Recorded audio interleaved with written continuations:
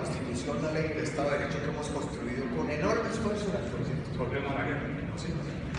Volvemos a la Constitución. Pero la Y es la oportunidad, y es la oportunidad, y no lo digo yo, lo dijo la presidenta de la Corte Constitucional, para que se puedan renegociar los acuerdos y permitirle darle hasta garantías a las FARC, porque miren lo que pasó en El Salvador.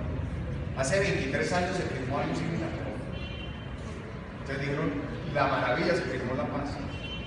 Salvador hoy es el país más violento del continente americano. Y hace dos meses el Tribunal Supremo tumbó la ley de amnistía porque dijo no cumple estándares de justicia. Las FARC tienen que reconocer que si quiere una paz estable y duradera, si quiere un blindaje, tiene que cumplir estándares de justicia. Hace poco escuché a Iván Márquez y dijo, no es que es que aunque se pierda, no volveremos a las armas. Y las FARC entiendo que están, aceptaron que- que- que este mecanismo, este plebiscito especial, sea un mecanismo de reflexión. Es la oportunidad de reorientar y que sea bajo el espíritu de la Constitución. Es que esto viola la Constitución política, por eso la demandamos. Esto viola el.